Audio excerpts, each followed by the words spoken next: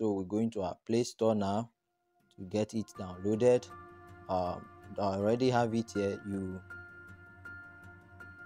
you put it in there. Plantix p-l-a-n-t-i-x you you already have option so you search it out. It's already here as part of the search option. Then you install it. You install it installing. It's installing already. Next thing we do is we open it after it has installed. We open we'll be able to select the languages uh, the language we want from the lang- list of languages we're able to select the language we want to use. Select english. Accept. And we get started actually switch on your location. For this course i'm skipping it now.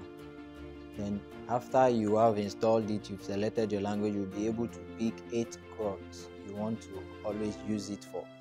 Um, you have so many crops here and aside the ones that are listed here you can still tap type on others to include the ones you want to use it for and it's not here. So for now let's pick our eight crops. I'll pick uh, the eggplant uh, pick the the cabbage pick the uh, that is the pepper and chili pick uh, chili i pick the cucumber uh, mostly veggies this time around. If you are going for cutting you also have cutting you have so many of them there. You pick whatever you want. I'll pick the maize i'll pick the watermelon i'll pick uh, the okra pick the onions and i'll pick the pick uh, which other one tomatoes. Okay already eight so let's go with this eight next. Um what best describe you?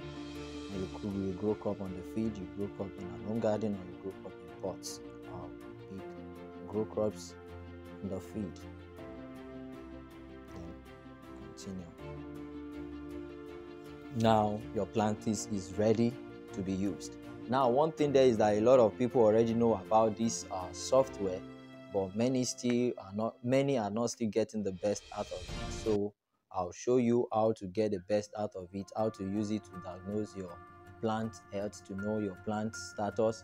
And uh, once you are able to diagnose rightly you will see some suggestion on how best to treat whatsoever abnormalities uh, your plants are actually having and how to take care of the situation and i will also explain to you how to interpret whatsoever reports they are giving to you and i will also there, there are a whole lot of things you will learn.